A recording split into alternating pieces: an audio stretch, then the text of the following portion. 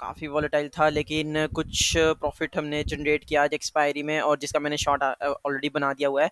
तो आज का जो वीडियो है वो इंटरडे स्टॉक्स के लिए है। दो इंटरडे स्टॉक्स जो मुझे कल के लिए अच्छे लग रहे हैं तो उसके बारे में हम डिस्कस करेंगे थे। उससे पहले कि एक मैंने बैंक निफ्टी की एक बहुत इंपॉर्टेंट मंथली टाइम फ्रेम पर मैंने एक एनालिसिस की वीडियो बनाई हुई है। काफ़ी इंपॉर्टेंट है कि क्रैश आ सकता है कि नहीं तो उसको, इसको आप ज़रूर चेक करें। तो चलिए सीधे चलते हैं। चार्ट पे तो पहला स्टॉक जो मैंने सेलेक्ट किया है इंटरडे के लिए वो है फोर्टिस तो अभी यहाँ पे जो है वो मैं बाइंग का अपॉर्चुनिटी देख रहा हूँ, क्योंकि यहाँ पे जो है आज जो सपोर्ट लेवल है, वहाँ से काफ़ी अच्छा बाइंग आया है। तो सबसे इम्पोर्टेंट हमें क्या ध्यान में देना है कि अगर कल मार्केट ये फोर्टिस फ्लैट ओपन होता है तो हम इस लेवल के ऊपर, यानी कि ये थ्री वन ज़ीरो या थ्री वन वन के ऊपर कोई भी कैंडल जैसे फाइव मिनट्स या थ्री मिनट की कैंडल क्लोज होती है तो हम इसमें बाय करेंगे और टारगेट हमारा यहाँ तक का ही होगा फाइव हंड्रेड फोर्टीन तो ये एक अच्छा रिस्क रिवॉर्ड हो सकता है इसमें तो रिस्क रिवॉर्ड के साथ ही काम करें स्टॉप लॉस को ज़रूर रखें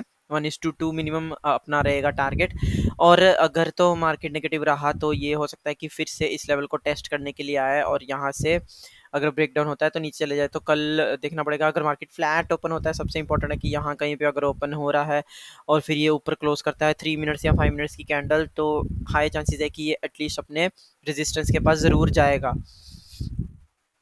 तो यहाँ पे एक हमें एक अपॉर्चुनिटी दिख रही है और दूसरा जो मुझे अपॉर्चुनिटी दिख रही है, वो है एस्ट्रल लिमिटेड में। तो इसमें क्या है कि ये ऑलरेडी काफ़ी ज़्यादा, अगर आप देखें तो किस तरीके से ये इसने एक अच्छी खासी रैली दिखाई है शॉर्ट टर्म में और इसमें मैंने शॉर्ट टर्म का एक ट्रेड भी लिया हुआ था। यहाँ पे मैंने एक ट्रेड लिया था और ऑलमोस्ट ये अच्छा खासा मुझे यहाँ पर ही मैंने एग्जिट कर दिया था। तो यहाँ पे एक ट्रेड लिया था मैंने और स्विंग ट्रेडिंग के हिसाब से। और यहाँ पे अभी जो है हमें टॉप पे एक बहुत ही अच्छा एम पैटर्न हमें देखने को मिल रहा है। किस तरह से ऊपर गया फिर नीचे आया फिर ऊपर गया लेकिन अपने पुराने हाई को क्रॉस नहीं कर ना करते हुए नीचे आ, आ चुका है। और यहाँ पे ये जो इसका एम पैटर्न का जो मेन पॉइंट होता है वहाँ पे आके यहाँ पे रुक गया है। तो अभी कल हम इसमें कैसे ट्रेड कर सकते हैं? सबसे इम्पोर्टेंट ये देखना है कि हमें आज इसने ऑलमोस्ट दो दिन में टू से थ्री परसेंट तक का ऑलरेडी इसमें मूवमेंट हो चुका है। तो अभी थोड़ा सा रुकावट आ सकती है कल के दिन में। हो सकता है ये कल के दिन में यहीं कहीं पे ही ट्रेड करे, पूरा दिन अगर ये फ्लैट ओपन होता है तो हो सकता है यहाँ पे ही ट्रेड करे, लेकिन अगर फ्लैट ओपन होने के बाद ये थोड़ा सा रिट्रेसमेंट यहाँ दिखाए या फिर या फिर ये नीचे यहाँ पे आके क्लोज कर दे, ये आपको रेड लाइन दिख रही होगी, इस रेड लाइन के नीचे क्लोज कर दे, यानी कि वन नाइन फोर थ्री या फिर one nine four seven four three के बीच में कहीं पे क्लोज होती है एक लाइन के नीचे फ्लैट ओपन होने के बाद नीचे क्लोज होता है तो हमें यहाँ पे इस लेवल तक के हमें टारगेट देखने को मिल सकते हैं। वन नाइन डबल टू के टारगेट देखने को मिल सकता है।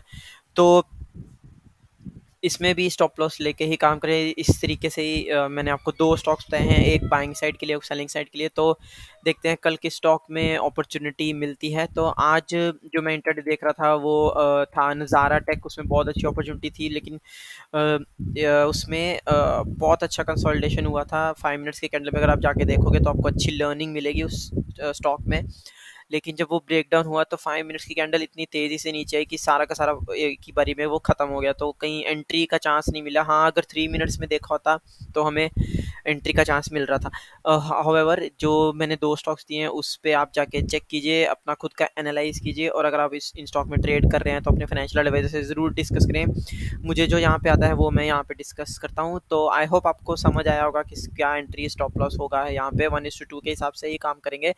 तो चलिए देखते हैं कल क्या होता है मार्केट में। Till then take care bye and keep learning and keep practicing